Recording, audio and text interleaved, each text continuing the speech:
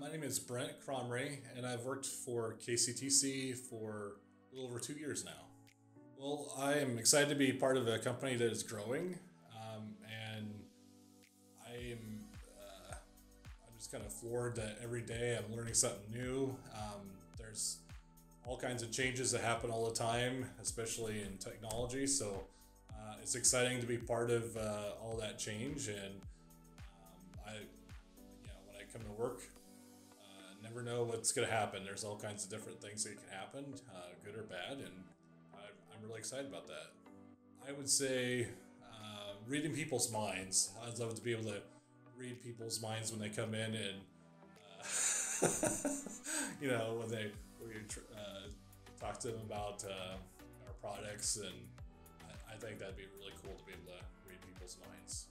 I really like to uh, be outside, and so you being here um, close to Lake Darling, I really like going to Lake Darling. I would say I really enjoyed going to Rocky Mountain National Park.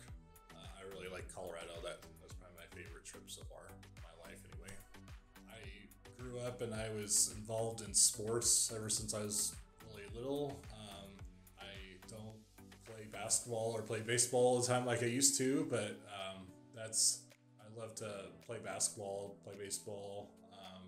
Also, I do play disc golf. I have one of my best friends like is a professional disc golfer, so I uh, picked up playing disc golf,